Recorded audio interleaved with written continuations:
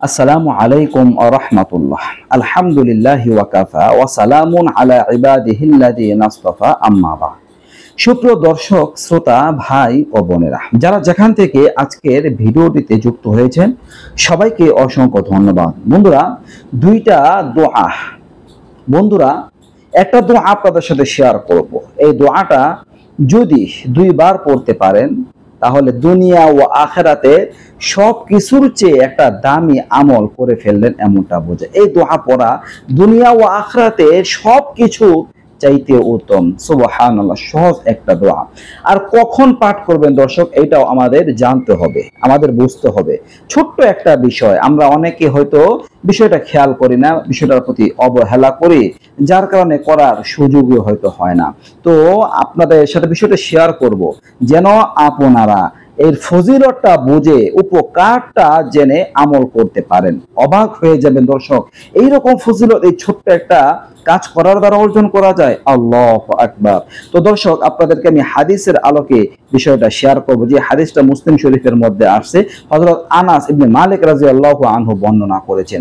বন্ধুরা, আল্লাহ তাআলা রাজি সন্তুষ্টি যদি অর্জন করা যায়, তাহলে দুনিয়া ও আখেরাতও এর চাইতে তুচ্ছ হয়ে যাবে।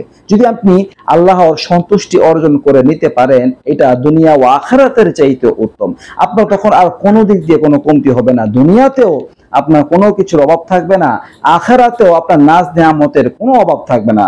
আল্লাহ তালা দুনিয়া ও আখেরাত সুন্দর করে দিবেন যদি তার সন্তুষ্টি অর্জন করা যায়। একটা ঘটনাও তো আছে যে এক বাদশাকে নিয়ে, যে বাদশাহ বলে দিয়েছে, তোমরা যার যা ইচ্ছা নিয়ে যাও। তো এক লোক গিয়ে বাদশার মাথায় হাত দিল যে, আমার আপনাকে দরকার, আপনাকে চাই। এটা কেন?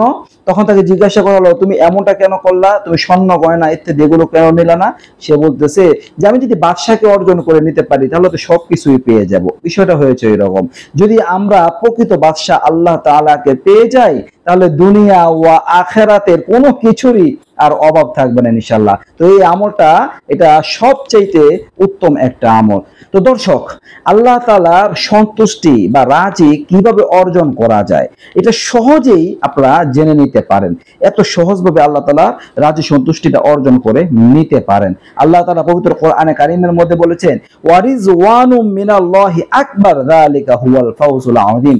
আল্লাহ তাআলা রাজি সন্তুষ্টিটাই সবচেয়ে বড়, আর এটাই হলো মহা সফলতা, তার রাজি সন্তুষ্টি অর্জন করা। তো হাদিসের মধ্যে আসছে, হযরত আনাস রাদিয়াল্লাহু আনহু বর্ণনা করেন মুসলিম শরীফের হাদিস। রাসূল সাল্লাল্লাহু আলাইহি ওয়াসাল্লাম বলেছেন যে, আল্লাহ তাআলা এতটুকুর উপরে সন্তুষ্ট হয়ে যায়। কতটুকুর উপর? যে, কোনো ব্যক্তি যখন খানা খায়, খাবার খায়, খাবার খাওয়ার পরে আলহামদুলিল্লাহ এই বাক্যটা পাঠ করে।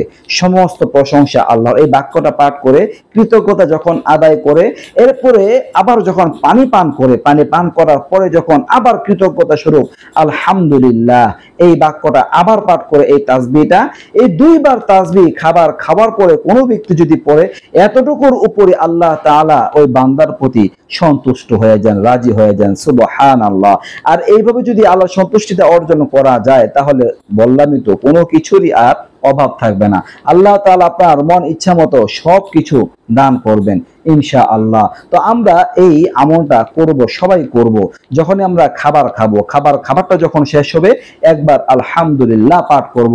এরপরে খাবারের পরে যখন পানি পান করব, পানি পান শেষ করে আবার আলহামদুলিল্লাহ পাঠ করব। তো দুইবার আলহামদুলিল্লাহ যদি আমরা পাঠ করতে পারি, এতটুকুর উপরে আল্লাহ তাআলা সন্তুষ্ট হয়ে যান। এমনটাই হাদিসের মধ্যে বলা হয়েছে। তো আমরা সবাই এই আমলটা করার চেষ্টা করব, যেন আল্লাহ তালা আমাদের প্রতি রাজি ও সন্তুষ্ট হন। তো কেমন লাগল ভিডিওটা অবশ্যই কমেন্ট করে লিখে জানাবেন। এই যেটি আরও ভিডিও পেতে পাশে থাকবেন। আসসালামু আলাইকুম রহমতুল্লাহ।